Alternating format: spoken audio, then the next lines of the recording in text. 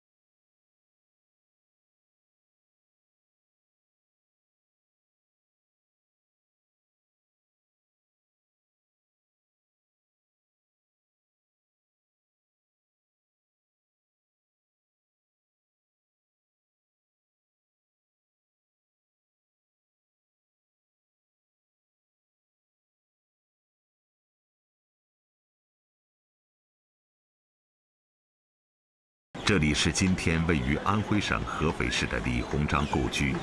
一八六一年末，李鸿章告别曾国藩，回到故乡，开始招募军队。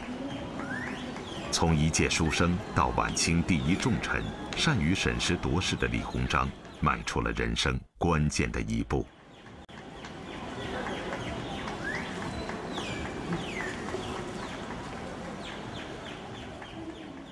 这是他的。起家的淮西的西乡的维保，就李鸿章起来时，他回家办团练。当时这一带呢，几十个团练，几十个团练。那么比较有名的是刘老维、刘铭传首任台湾巡抚，张老维、张树森两广总督、数理直隶总督。然后周老维、周盛波、周盛传就是盛军一直在天津。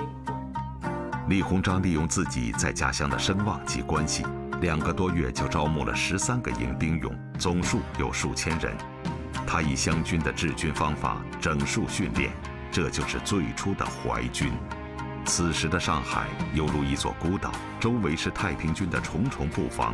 如何突破太平军的重重包围，将淮军运至上海呢？从陆路进入上海显然不现实，只能走水路。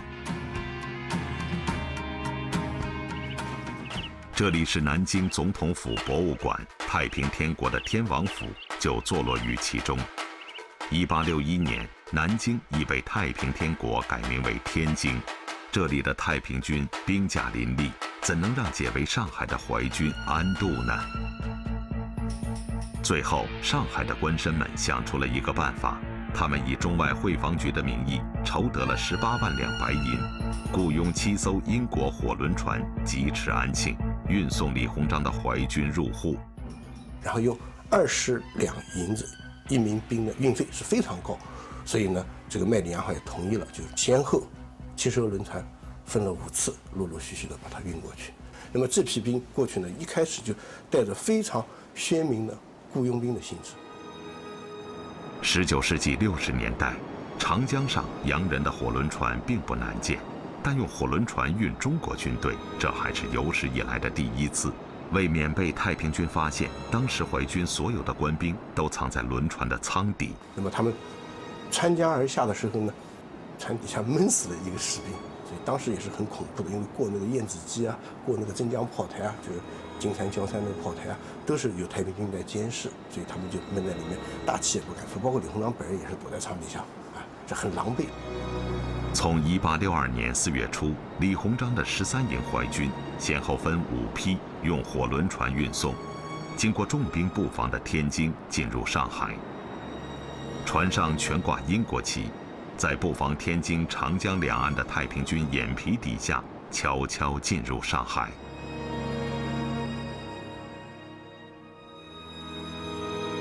在此之前，洋人也曾用火轮船私运军火、粮食给太平军。时人曾记述过湘军首领胡林翼在安庆见到洋人火轮船时的感受：驰至江滨，忽见二洋船，鼓轮西上，迅如奔马。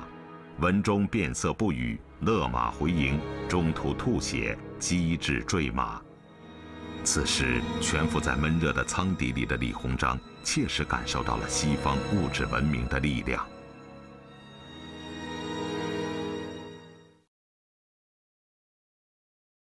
李鸿章到上海不久，被任命为署理江苏巡抚。淮军全部抵沪后，上海官绅们纷纷到码头迎接。然而，看到的军队与他们想象中的救世主形象大相径庭。上了那个上海十六铺的码头上来是灰头土脸、邋里邋遢，讲的是教化的兵嘛，而且那个也非常土气。这个上面是用那个布帕缠的，对吧？缠的。这个下面呢，前面一个一个怀着，后面一个拥的。这时，在上海码头上还有另一支部队——英法联军。一八六零年，英法联军火烧圆明园，逼迫清政府签订了《北京条约》。按照条约内容。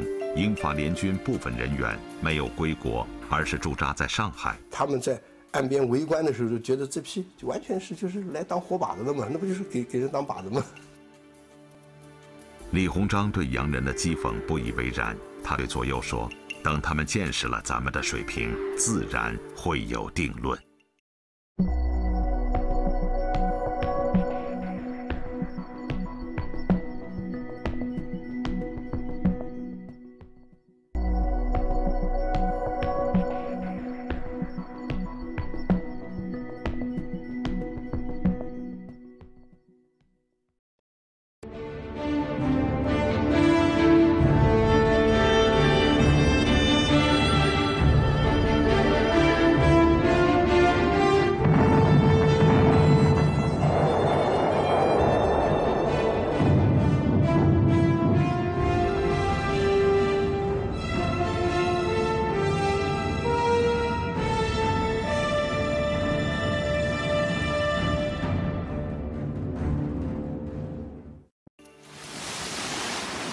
法联军的军舰停在上海码头，李鸿章很想上船见识一下洋人的船坚炮利。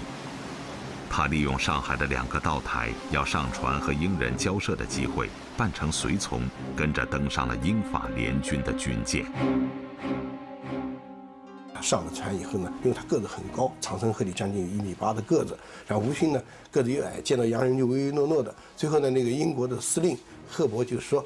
哎，这两个道台真不怎么样，一个道台，一个候补道台。但是后面这个人，这个目光如炬啊，嗯，将来是很很厉害的一个角色。从船上下来后，李鸿章即给老师曾国藩写信，谈了自己的感受。他们的这个枪炮，这个这个这个威严，器械鲜明，队伍雄整，我呢是下决心要向他们学习。后来呢，他在一而再再而三的，他就要虚心忍辱，学得西人一二秘法，就是要学洋洋枪洋炮，学火轮团，就是兵舰。李鸿章又参观了上海的洋枪队，他们的装备令他耳目一新。特别是落地开花大炮，李鸿章在给曾国藩的信里说：“枪炮并发，所当者靡，其落地开花弹真神迹也。”此时，洋枪队的首领叫华尔，是一个美国退役军官，因犯罪而逃往中国。李鸿章全神笼络，希望他代办采购枪支。华尔便通过上海的英租界开始大量走私枪炮。一直严格控制对华军火买卖的英国人，不久便听到风声，他们非常愤怒，要将华尔捉拿问罪。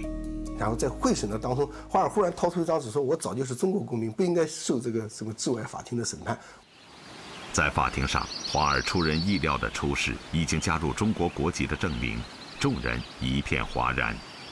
原来李鸿章早就为华尔想好了后路，为他制作了一张中国人的假身份证明。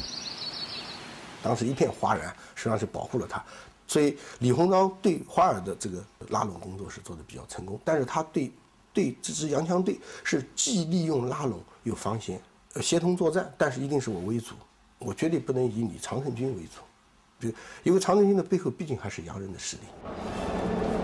一八六二年六月中旬，上海地区瘟疫流行，围城的太平军缺医少药，半数以上的将士染上了疾病。太平军将领忠王李秀成决定以进为退，在撤退前先围攻虹桥。李鸿章闻讯，赶忙率淮军驰援。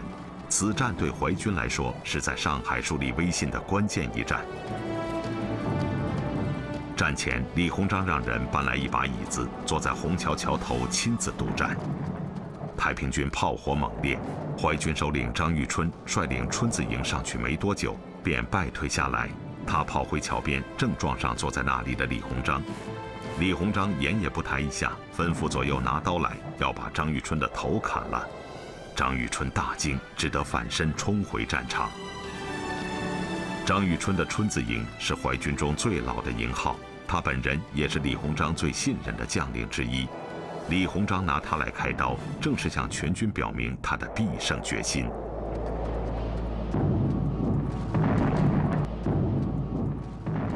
与太平军相比，用洋枪洋炮武装的淮军火力优势明显。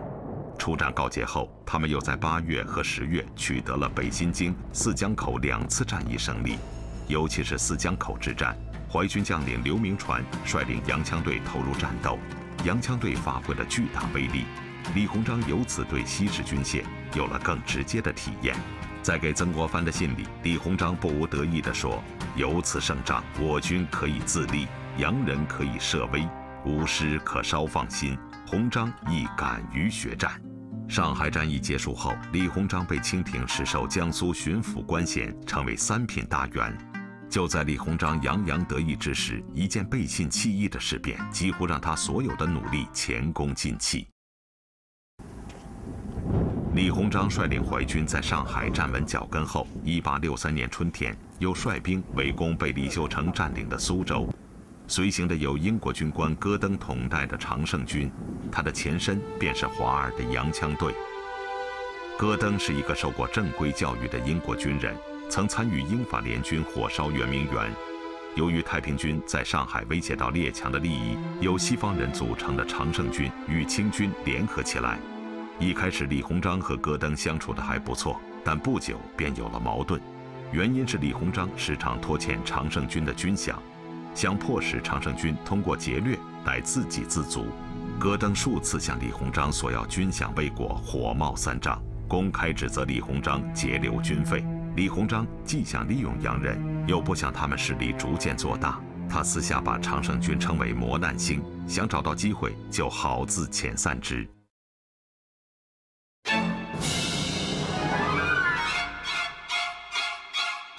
李鸿章和戈登要攻打的苏州是太平军主力忠王李秀成的大本营。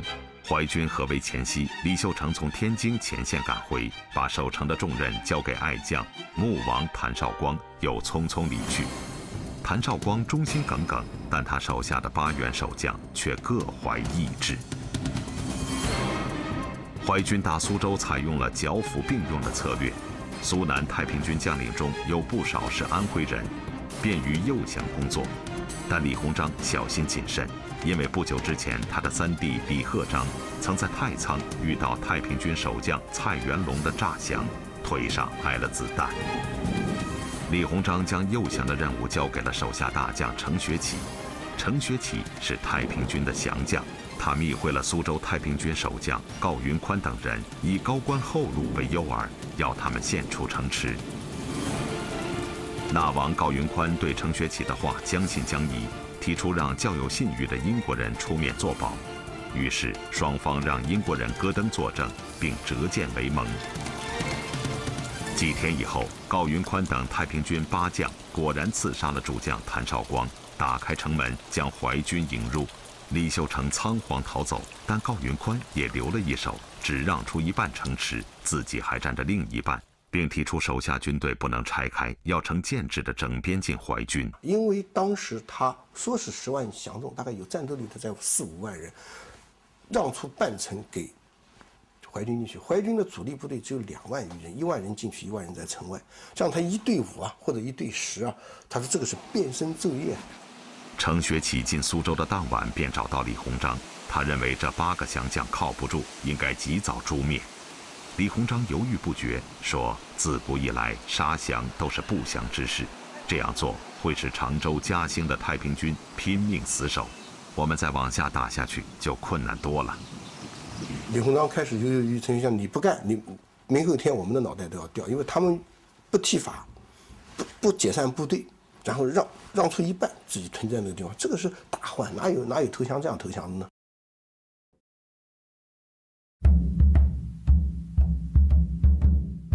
次日上午，李鸿章来到城内程学启的军营，传令召见太平军八个降将，并说要当场封赏他们为总兵、副将。八个降将不知时机，兴高采烈地来到军营。酒宴开始，忽有校兵送来紧急公文，李鸿章便趁机离开。正当八个降王酒酣耳热之际，进来了八个武士，每人手里拿着一套清军的顶戴官服，请八人更衣换顶戴。八个人站了起来，自己用手解开头上包布。这时，八个武士手起刀落，八颗人头被斩于地上。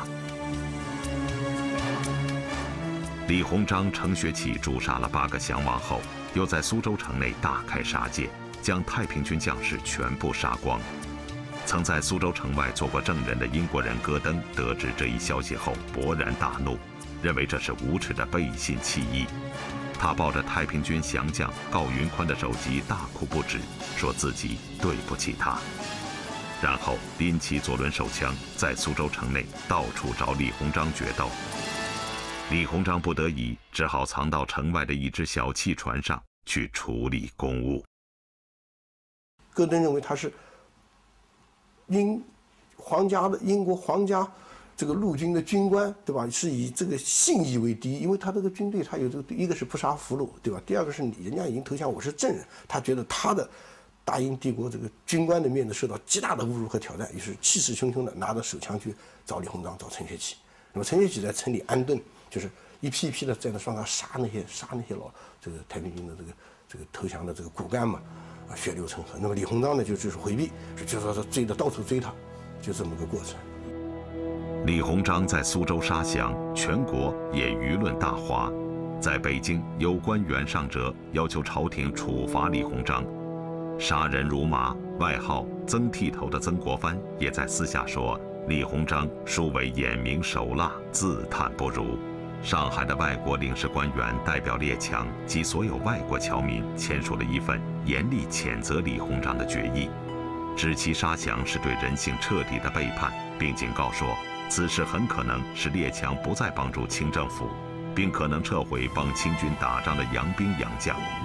英国驻华陆军司令勃朗也从上海赶到昆山，与戈登商量借此从中方手中夺回常胜军的控制权。李鸿章为挽回舆论，先重赏常胜军白银七万两，还有一万两奖给戈登本人，又向上海的英、法、美等国使团去函。解释苏州杀降是中方的决定，与戈登无关。李鸿章的两面手法很快奏效，不久，清政府对李鸿章的杀降行为予以肯定，认为他们所办并无不合，甚为允协。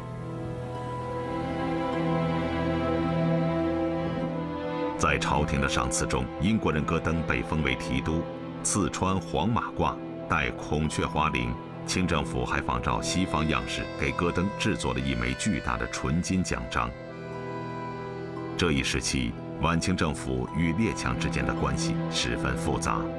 在镇压太平天国运动之时，急于镇压太平军的清政府最终倒向了李鸿章。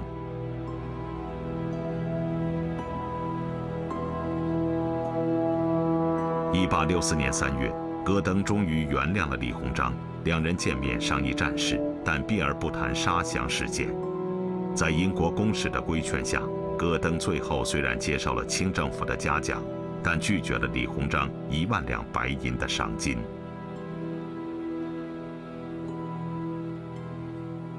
五月，常州城破，太平天国在苏南最后的军事重镇陷落，随即常胜军在昆山解散，戈登返回英国。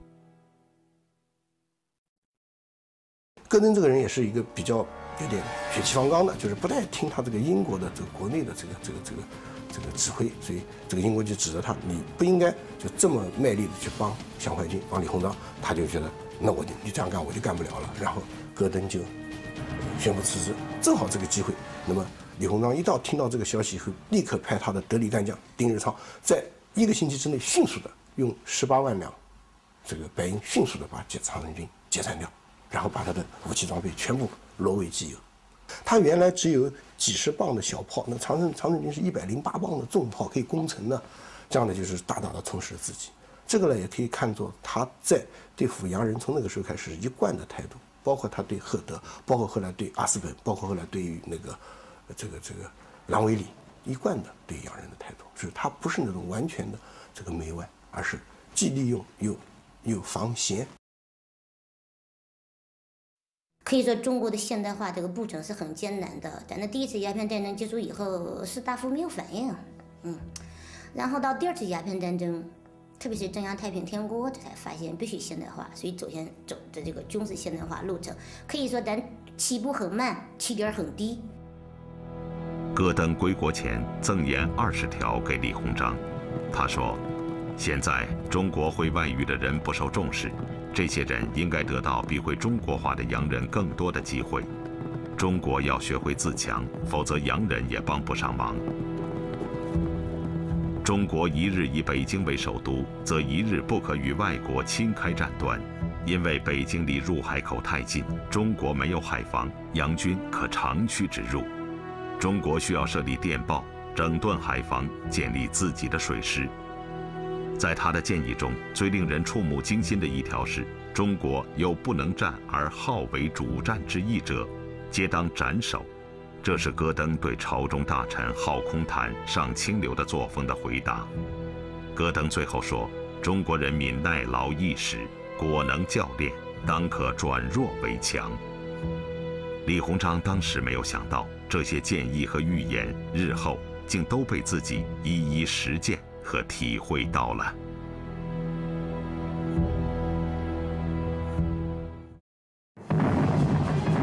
第二次鸦片战争之后，中国开始了自强运动。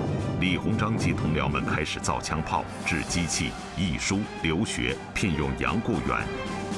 朝内反对之声响彻云霄。李鸿章将作何应对？敬请关注下期《血色黄昏》，李鸿章的。洋务生涯。